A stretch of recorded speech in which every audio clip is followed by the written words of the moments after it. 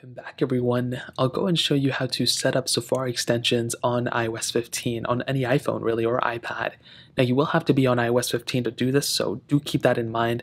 Now the very first thing you want to do is you want to make sure you have Safari extensions at least downloaded on your phone. So I have a couple of them downloaded here, but just in case you don't, Hyperweb is one of the Safari extensions I found. It's fairly new.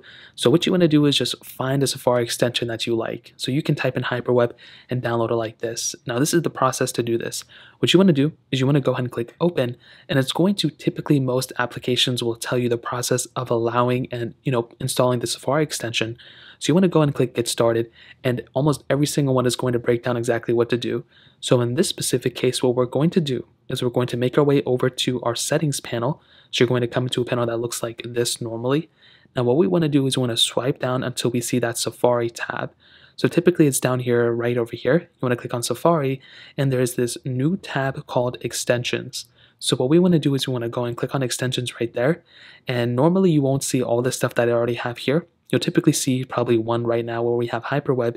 You want to go ahead and click on Hyperweb and we want to make sure this little option right here is on. If it's off, then it's not going to be on. So you want to go and click on here and then what you want to do, if the application tells you to go back into that app, you know, you can go and click on I've done all the steps, and then it's going to whatever you can go through here. But the next important thing you have to do, and this is very important, I think a majority of the applications won't allow you to do this. You want to go ahead and open up Safari. You then want to, you may automatically get this little, you know, thing come up. If not, you want to go ahead and click on that little tab bar at the bottom and you want to find the specific extension that you just installed right here. So you can see I have a couple extensions, but we want to find the one that we just did and you want to click on it. Now, when you click on it, it may actually go ahead and tell you, hey, do you want to allow this specific extension? In that specific case, you want to click allow, and then it may tell you if you want to allow it again. Just keep clicking allow I don't know why you have to do it so many times. Probably they have to fix it. But then once it's done, and if you don't see a specific, like, you know, triangle with the exclamation point between these, then you're good to go. You don't have to worry about anything anymore.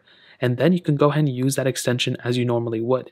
If you want to manage these extensions again, you can just go straight into your little Safari tab right here under extensions. And then you can go ahead and, you know, click delete or do whatever you want to. You can turn them off, turn them on. And deleting an extension is as easy as just holding down on the application like this, deleting and removing the app, and that app will be fully removed from your phone. So now if you go to extension, the extension is not there anymore. So that's pretty much how to do it. If you guys have any other questions or anything like that, let me know in the comment section below. Hit the like button, that means so much, but definitely hit that subscribe button. More importantly than everything else, I love every single one of you guys.